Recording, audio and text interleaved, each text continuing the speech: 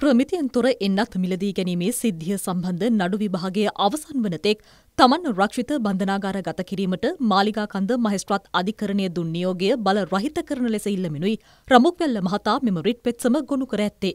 මෙම පෙත්සම අද කැඳ වූ අවස්ථාවේ එය ලබන තිස් එක් වනදා සලකා බැලීමට නියම කෙරුණේ. එදින පෙත්සම මුල සිට යළි සලකා බැලීමටද අධිකරණය නියම කර තිබෙනවා.